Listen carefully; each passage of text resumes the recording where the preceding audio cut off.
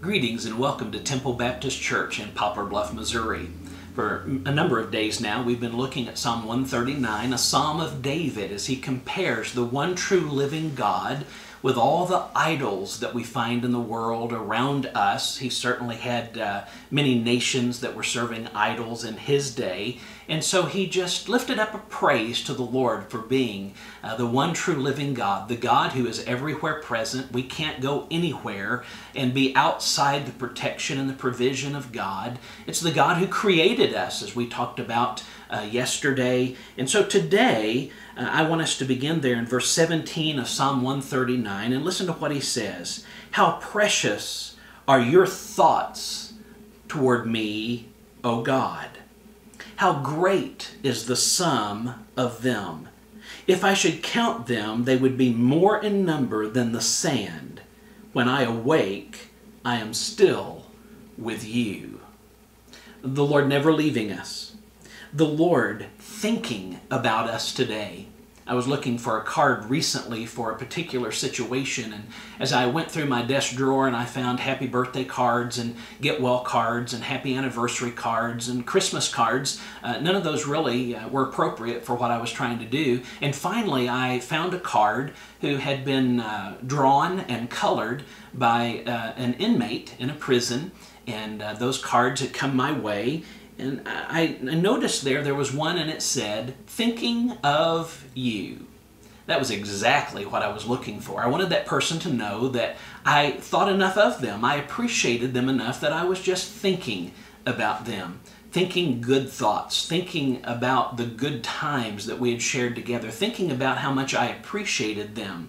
And so that phrase, thinking of you, was just the perfect card for me to send that person on that particular situation. Listen to what the Bible says here again. The psalmist praising the Lord and saying, How precious also are your thoughts to me, O God. It's almost as if the psalmist is saying, Wow, Lord, you are God. We have just talked about in the uh, verses prior to this one in Psalm 139 of how good God is to us, of how big God is. Lord, you have known me. You know me so well. You know how many hairs that I have in my head. Uh, Lord, your right hand, that strength, that power that you have to pro- provide and protect me, uh, that is such an awesome thought. And so, Lord, this big God that you are, and yet, you are thinking about me.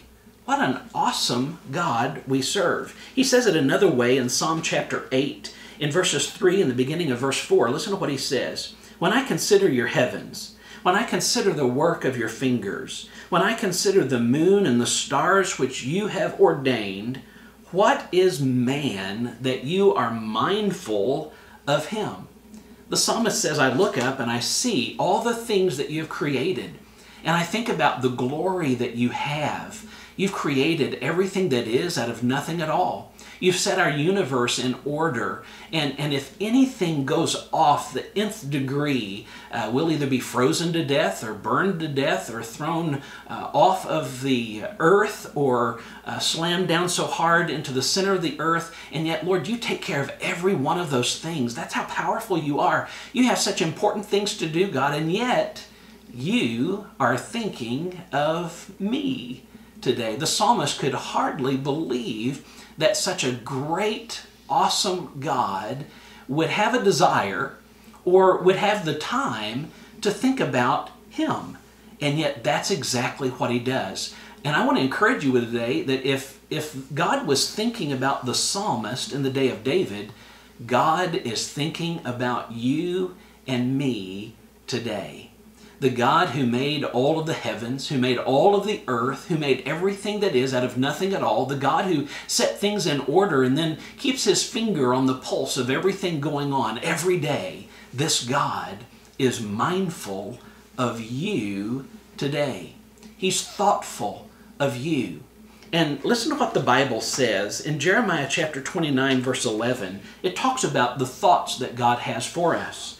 For I know the thoughts that I think towards you, says the Lord thoughts of peace and not of evil, to give you a future and a hope. God is thinking good thoughts toward us today. God's desire is to give us a great future if we will accept His will for our lives. And then listen to the thoughts that He thinks toward us. He says, The sum of them is great. If I should be able to count all the good things you're thinking toward us, they would be more in number than the sand of the earth. I'm not much of a mathematician. My brother got that gift. I certainly did not. But one scientist calculated the grains of sand upon the earth. Guess how many there are? Now, I don't know what went into his calculation. I don't know how real this calculation is, but in his assessment, there are 7 quintillion, 500 quadrillion grains of sand on the earth. That amounts to 7.5 times 10 to the 18th power. I don't have a clue about that, but all I know, it's a lot. And God's thoughts for you are a lot. He thinks of you all the time. Whatever it is you're going through today that may bring you anxiety, please don't forget God's thinking thoughts of you today. He'll be thinking thoughts of you when you go to bed and are asleep tonight because the Bible says he never sleeps nor slumbers. And David says, Yet when I awoke, I was still with you. It's more like God was still with us. His thoughts for you are good. If you'll just accept His will for your life, you will be wowed with the abundance that God desires to place in your life. A lot of good thoughts coming your way by the God of heaven. Oh, what a God we serve. How good. Father, thank you for loving us. Thank you for thinking of us.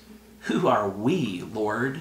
compared to you that you would think anything about us. And yet, Lord, we are always on your heart and mind.